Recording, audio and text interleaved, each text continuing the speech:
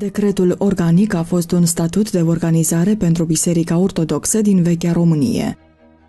Acesta a fost promulgat de domnitorul Alexandru Ioan Cuza la 6 decembrie 1864. Primul articol a prevăzut unificarea Bisericii Ortodoxe din cele două principate românești și atribuirea statutului de autocefalie. Cităm: Biserica Ortodoxă Română este și rămâne independentă de orice autoritate bisericească străină, întru tot ce privește organizarea și disciplina. Prin articolul al doilea au fost înființate un sinod central și mai multe sinoade eparhiale. Decretul organic a fost apoi completat de regulamentul pentru alegerea membrilor Sinodului General al Bisericii Române și regulamentul interior al Sinodului General. La elaborarea decretului organic a contribuit și August Treboniu Laurian, reputat om politic și de cultură ardelean. Din această cauză au existat păreri că decretul lege ar fi fost inspirat și din activitatea legislativă a mitropolitului Andrei Șaguna.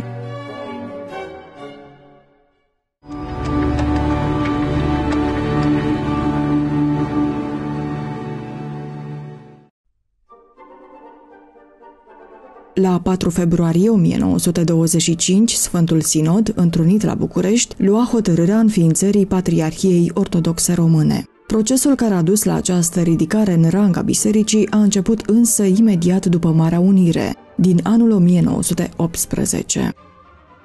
Pentru a da expresie de plină unificării statale în fruntea Bisericii Ortodoxe Române, a fost ales ca mitropolit primat episcopul Caransebeșului, Miron Cristea, Investirea și înscăunarea noului mitropolit primat au avut loc la 19 decembrie 1919.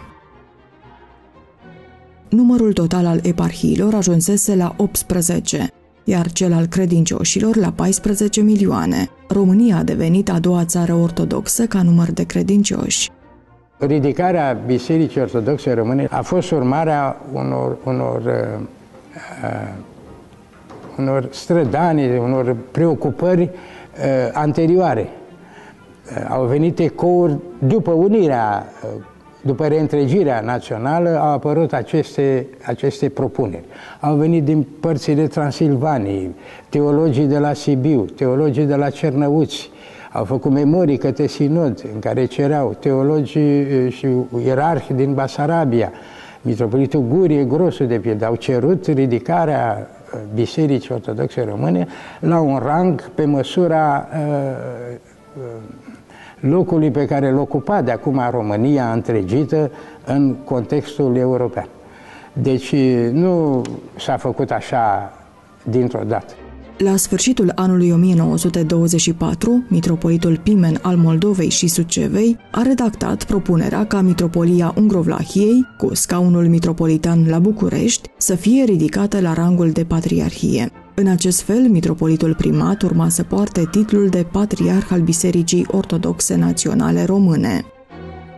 Documentul a fost semnat apoi de mitropolitul Nectarie al Bucovinei, de arhiepiscopul Gurie al Chișinăului și de episcopii Lucian al Romanului, Roman al Oradiei, Nicolae al Clujului și Ilarie al Constanței.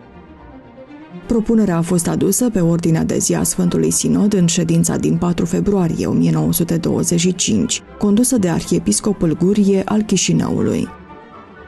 În urma tuturor luărilor de cuvânt a fost prezentat de către învățatul episcop Bartolomeu Stănescu al Râmnicului actul de înființare al Patriarhatului Românesc. Cu acest prilej s-a amintit de rolul important al ortodoxiei românești de-a lungul istoriei. Drept urmare, în ședința din 4 februarie 1925, Sfântul Sinod a adoptat următoarea hotărâre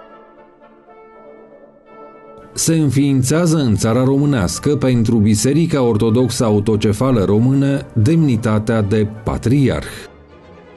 Arhiepiscopul și mitropolitul Ungrovlahiei se ridică în calitatea sa de primat al României la rangul de patriarh al Bisericii Ortodoxe Autocefale Române. În alt preasfințitul Miron, actualul arhiepiscop și mitropolit al Ungrovlahiei, devine, în calitatea sa de primat al României, patriarh al Bisericii Ortodoxe Române. Patriarhul Bisericii Ortodoxe Române se va bucura de toate drepturile recunoscute de Sfintele Canoane și legile țării.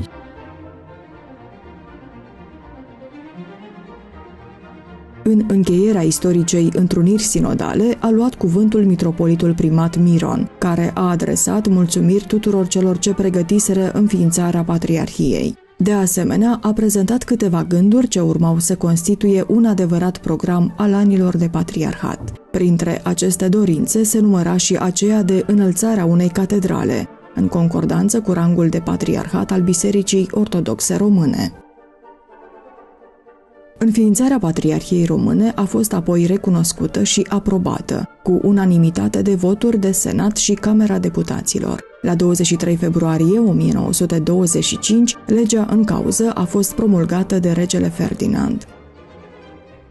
La 12 martie 1925, bisericile ortodoxe surori au fost înștiințate, printr-o scrisoare irenică, de cele împlinite. Recunoașterea a venit fără niciun fel de problemă. Patriarhia, Patriarhul Vasile al Constantinopolului, Patriarhul Ecumenic, a trimis un tomos, apoi celelalte biserici ortodoxe surori, anunțate fiind de Patriarhia Ecumenică, au trimis la rândul lor scrisori de recunoaștere.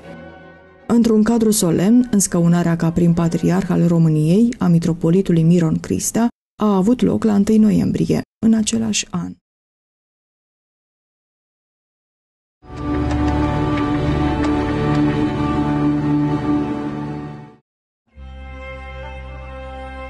Cu numele de soboare erau cunoscute în țările române adunările bisericești în timpul evului mediu. În țările române extracarpatice, soborul mare era alcătuit din clerici și laici. Prima știre despre acest tip de sobor mix avem din timpul lui Radu cel Mare, la începutul secolului al XV-lea. Atunci, patriarhul Nifon, adus în țară de domnitor, a convocat, cităm, pretoți egumenii de la toate mănăstirile țării Ungrovlahiei și tot clirosul bisericii și făcu sobor mare de împreună cu Domnul și cu toți boierii, cu preoții și cu mirenii. Alte mari soboare, atestate documentar, au fost convocate de Leon Tomșa între anii 1630-1632. Un sobor a fost convocat și de Grigorie Ghica din Muntenia, în anul 1672 pentru înființarea episcopiei Strehaiei. Repunerea în scaun a mitropolitului Teodosie se făcea tot printr-o astfel de adunare pe care o ceruse domnitorul Șerban Cantacuzino în anul 1679. Instituția Soborului Mare, ca for de alegere a ierarhilor, în secolele 17-18, a fost menționată în mai multe documente. Este amintită în Pravila Mică de la Govora, în Condica Sfântă a Mitropoliei Ungrovlahiei și de Condica Sfântă a Mitropoliei Moldovei. În Transilvania, soborul a fost introdus oficial în anul 1579 pentru alegerea ierarhului ardelean, din secolul al XVII-lea se cunosc mai multe protocoale ale unor astfel de sinoade sau soboare. Cele mai importante au fost cele din anii 1627 și 1675, convocate de mitropoliții ardeleni, Dosoftei și Sava Brancovici.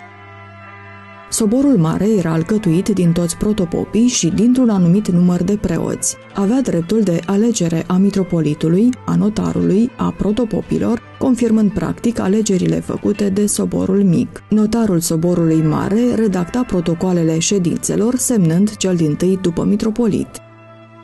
Una dintre cele mai importante atribuții ale soborului mare era dreptul de legiferare, stabilind canoane.